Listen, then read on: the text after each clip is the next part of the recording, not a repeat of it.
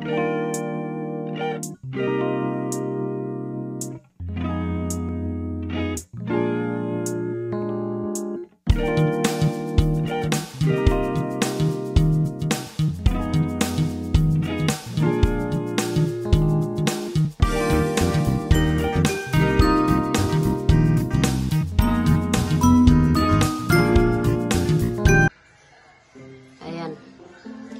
Magkakahit ako guys ng maraming nyug at ako'y mag lalangis. Gagawa ako ng langis na pambabad sa buhok. Para ang ating buhok ay organic. organic hair. Ayan. Gagawa ako ng langis para pambabad sa aming mga hair dito para healthy siya. Tsaka black na black. Tsaka madaling tumubo. Tsaka magtikining yung hibla ng mga buhok. So, ayan guys, magkayod muna ako at mamaya papakita ko yung paglalangis ko. Pag ginawa ko na siyang langis, papakita ko ulit. Okay, see you later. Ayan mga guys, yung una kong sinalang mga guys, kumulo na oh. So, mamaya, dadagdag ko na lang yung gata nung kinakayod pa. At least matanggal na yung ibang tubig nito. Para mabilis na maglangis muna. Lang ang paglalangis mo guys. So, ganyan, pag nawala na yung tubig, langis na lang natira. So, may pambabad na kami sa aming buhok. Mayroon na kaming organic treatment sa aming mga hair na naglalagas. Magti-treatment kami nito para mag-stop yung lagas, maging healthy yung hair, at maging thickening ang hibla ng buhok. Magiging makapal yung hibla. At mabilis siyang humaba. At saka, maitim siya. At ano na rin siya, um, treatment na rin siya sa mga gray hair, yung mga nagiging uban. So, mai-stop siya. Basta lagi kang magbababad ng langis ng nyug.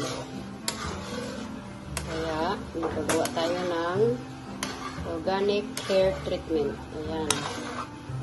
From coconut.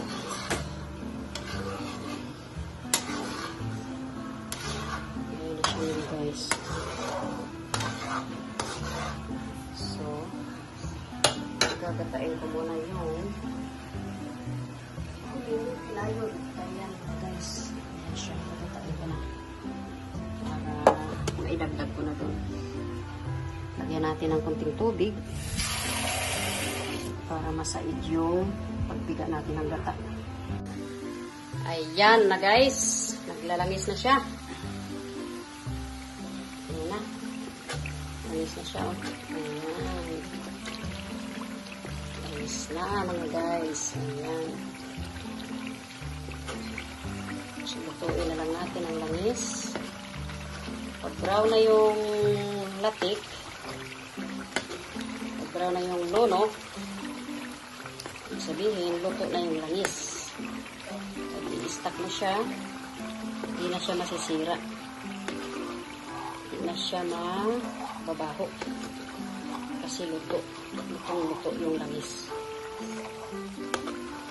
So, ayan. Kailangan natin siyang pa-brownin.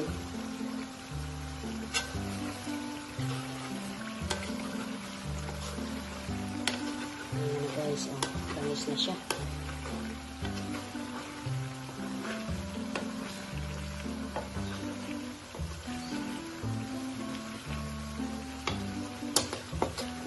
Langis na talaga siya guys.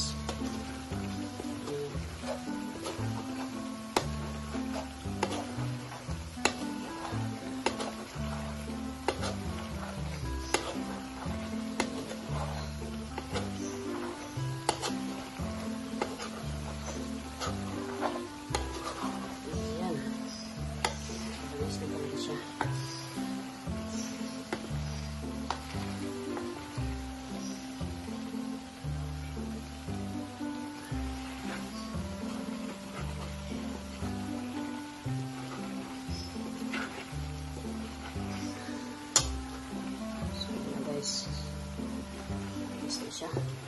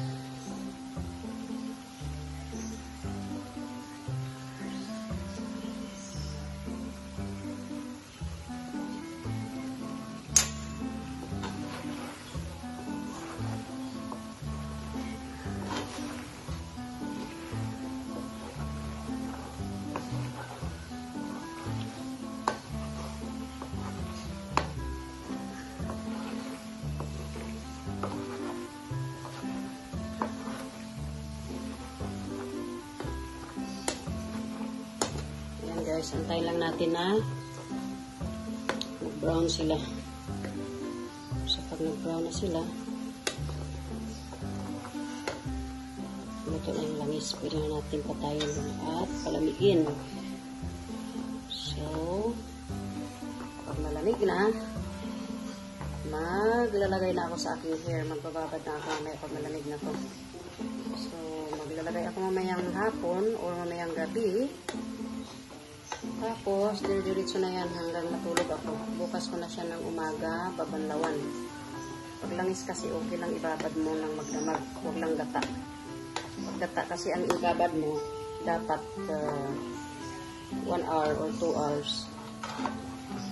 Babanlawan mo siya kasi hindi siya pwede, hindi ka pwede matulog ng nakababad yung gata dahil basa yung buhok mo. Hindi kasi natutuyo ang buhok mo pag gata ang ibababad mo. Bawal matulog ng basang buhok. At pangalawa, malagkit siya sa buhok, malagkit sa ulo. Kaya hindi pwede matulog na gata ang minababad. Pero pag langis, okay lang na nakababad siya sa buhok. At kinabukasan mo siya liguan.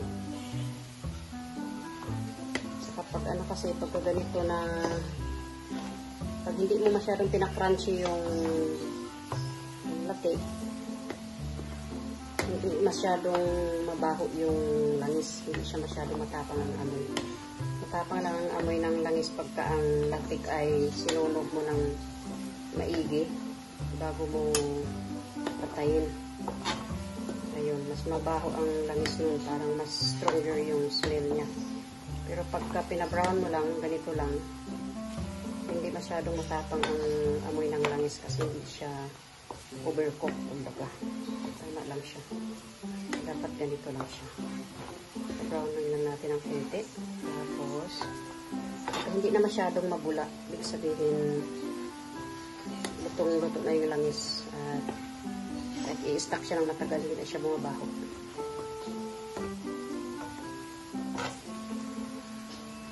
Pag nagawa kayo ng ganito guys, para gusto ninyo ng ano, hindi nyo masyadong maamoy yung langis, pwede rin siyang haluan ng BB oil.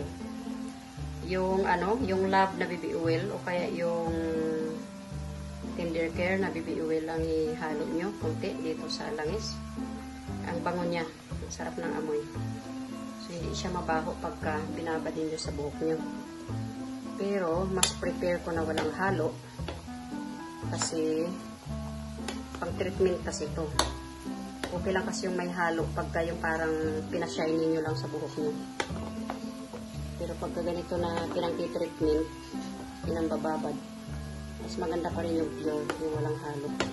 So, ayan na guys. Brown na siya. Ayan, brown na brown na. So, pwede na natin siyang patayin. Ayan. Pwede na siya. Ayan, pwede na siya guys. Patayin na natin dahil brown na yung latik. Tapos, medyo tagilid na natin yung kawali.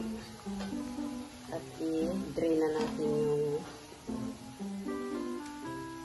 latik sa langis. So, na natin yung latik sa gilid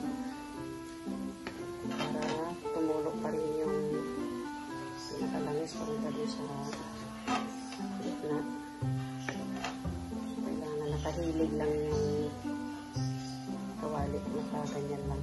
Hindi naka-side. Side view lang siya.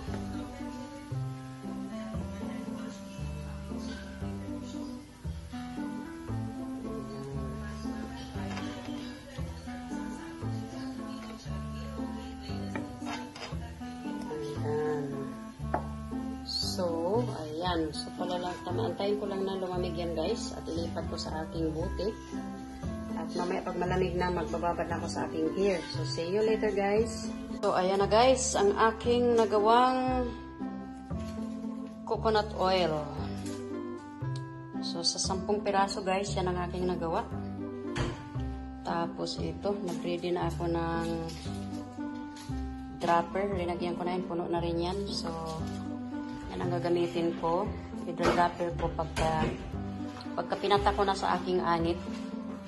Susuklayin ko siya. Parang lalagyan mo siya ng daan, ng kanal. So, ang kakailanganin mong gagamitin na suklay is yung pino. Yung parang may tulis sa dulo. Yung parang panggupit. Para magkaroon siya ng linya. Tapos, dyan mo ilalagay yung papatak sa dropper yung langis. Sabay massage-massage sa anit. Tapos, lalagyan mo pati yung buhok mo mismo, hindi yung anit lang. Pati yung buhok mo mismo, talagang lalagyan mo siya. Bababaran mo siya ng langis para talagang matitreatment siya. So, yan na guys. So, magpalit lang ako ng damit at magbababad na ako ng langis sa aking hair. Sa aking anit. So, magtitreatment na ako. This is my organic treatment for my hair. Okay? Ayan. See you later guys. I will show you how to put on my hair. So, I'm going to treat my hair using coconut oil. So, fresh coconut. Fresh coconut from the farm. Okay, see you later guys.